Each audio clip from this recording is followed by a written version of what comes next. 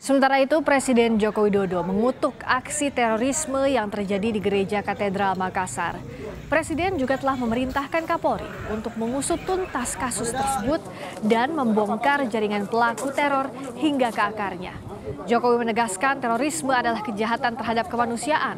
Terorisme sama sekali tidak berkaitan dengan ajaran agama apa pun.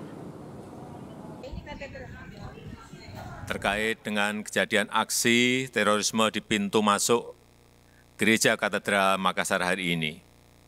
Saya mengutuk keras aksi terorisme tersebut dan saya sudah memerintahkan Kapolri untuk mengusut tuntas jaringan-jaringan pelaku dan membongkar jaringan itu sampai ke akar-akarnya.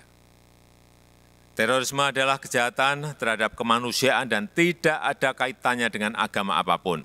Semua ajaran agama menolak terorisme apa pun alasannya. Untuk para korban yang luka-luka, kita mendoakan agar segera diberikan kesembuhan dan negara menjamin semua biaya pengobatan dan perawatan para korban.